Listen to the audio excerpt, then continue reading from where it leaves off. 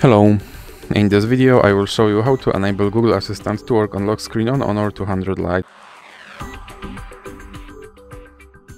So you have to start by opening your uh, Google application, then click on your avatar and now go to settings. Then click on Google Assistant and now click on Hey Google and Voice Match. Then uh, click here to enable Hey Google and click on uh, Retrain Voice Match Model.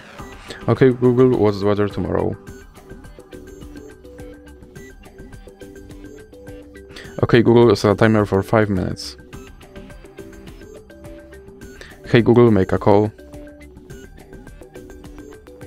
Hey Google, remind me to water my plants every Monday.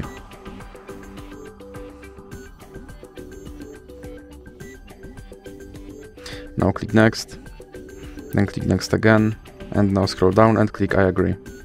Then click on uh, back and click lock screen. Then click yes and make sure that this first option stays on. And now uh, let's check if my Google Assistant will work on lock screen. Okay Google. And as you can see my Google Assistant works on lock screen. So that's it for this video, if you liked it please remember to leave like and subscribe.